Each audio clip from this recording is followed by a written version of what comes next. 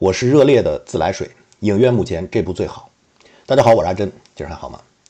七月二十七号，昨天晚上我发了视频啊，我说热烈这部电影大家可以放心的冲啊，无脑的冲，你听我的，你就去电影院冲冲冲。然后在我的这个直播间里呢，就很多朋友来问，是真的吗？是真的这么好吗？我挨个的跟大家解释啊，是，我觉得真的特别好。很多朋友当时就这个订了票啊，订的今天的、明天的、后天的这个周末的票去看。也有很多朋友将信将疑啊，不停的在问这部片子啊，跟在映的其他片子比都有什么优势什么？哎，昨天晚上就这个主题讨论了很长时间啊。有人问这个片子跟《封神》比看哪个？这个片子跟这个《长安三万里》比看哪个啊？我就这么说啊，我现在是本人是这部电影的自来水啊，没有收任何的推广费，哪怕一毛钱都没有收过。我就是自己看完了以后，觉得这是今年目前我在影院中看过的片子里头啊，我最想推荐。所有人去看的，而且是所有人啊。比如说《封神》，我就会说啊，他是比较的倾向于喜欢这种魔幻类电影的观众啊。他会有些观众就是不喜欢这种题材。你就包括《指环王》啊，《霍比特人》啊，《权力的游戏》啊，这种火爆全球的大 IP，他也有很多人不喜欢啊。然后电影院里像现在的《芭比》啊，这种就是非常女性那个女生向的这种电影，他也会有很多男生就是不愿意看啊。比如说我。啊，虽然它评分很高啊，这个北美口味也爆了，但是我也不会去电影院看它啊。以后可能网上出来看一看就可以了。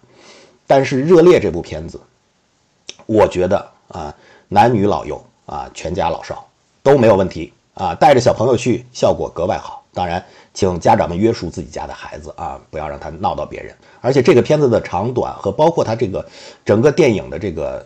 控制力都很好，所以也不会让孩子觉得烦躁啊。你像《长安三万里》就是过长了，小朋友坚持这三个小时是有难度的啊。你像这个《封神》啊，有些场景啊，又是剜心呐，又是砍头啊，这些场景不太适合小朋友。但是《热烈》这部片子不但啊嬉笑怒骂啊皆成文章，不但这个笑点泪点齐飞，而且节奏感很好，不会让孩子感到疲惫，不会让孩子感到烦躁，而且他能教给孩子们很多东西。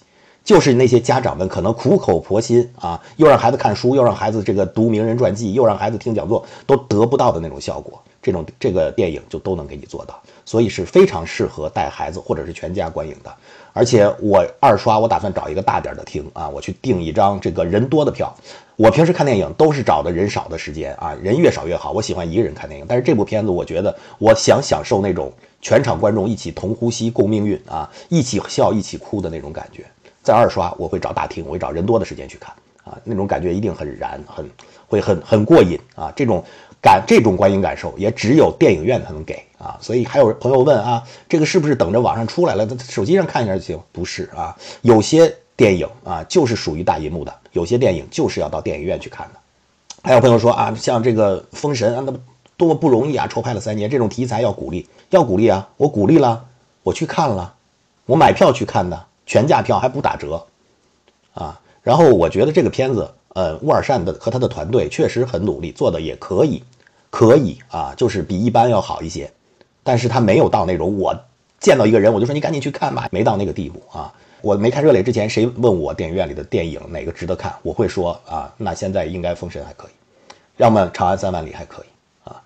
还有朋友问啊，这个热烈跟八角笼中哪个好？啊，我这么说吧，我觉得《八角笼中》跟《热烈》啊是基本上同类故事线的作品，虽然一个是大山的孩子，一个是城里的孩子啊，但是故事的主线、故事的底色都是一样的。一个是搏击运动，一个是街舞啊，只是载体不同，但是讲的是类似的故事。但是王宝强导演和大鹏导演在实力上是有明显差距的，在作品呈现出来的质量上也是有明显差距的，在给观众带来的观影感受上也是有明显差距的。如果你不信，两部你都看一下，比较一下。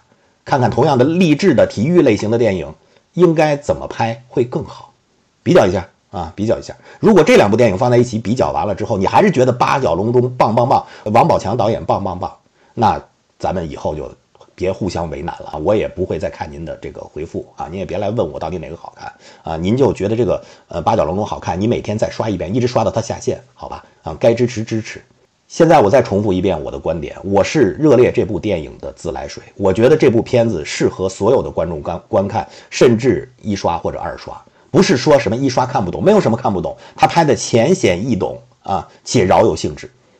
你看的时候，你会被轻易的带入剧情中，带入人，带入这个人物中。每一个人在这个剧里都会找到自己的影子，不管是年轻人、中年人、老年人啊，不管是你做什么职业的，你是高级白领在写字楼里上班啊，你是一个普通的外卖小哥或者是滴滴司机，你都能找到自己的影子，你都能找到自己啊，能跟你心跳同频的那么一那那么一些瞬间，那么些片段，让你的眼泪不自觉的就流下来，而且这种流淌。